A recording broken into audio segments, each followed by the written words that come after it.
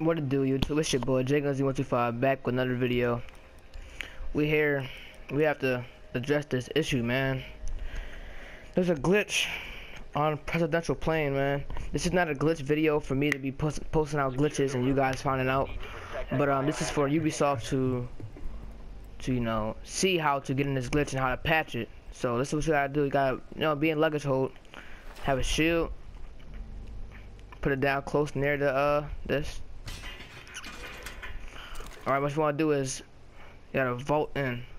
When it says vote, uh, see, you get right into this closet.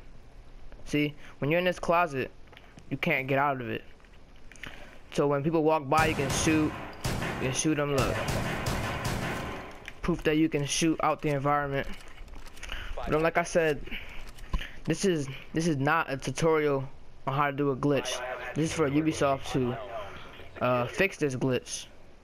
So you can see you can pick up your shield again. But there's no way of getting out of this out of this glitch. So in the viewer's eyes that you're killing, you know, you're in this little box here.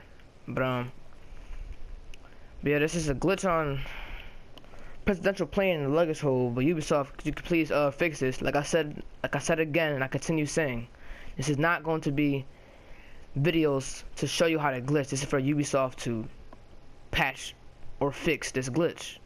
But um, this is JaygunZ out with another video. We out. Peace.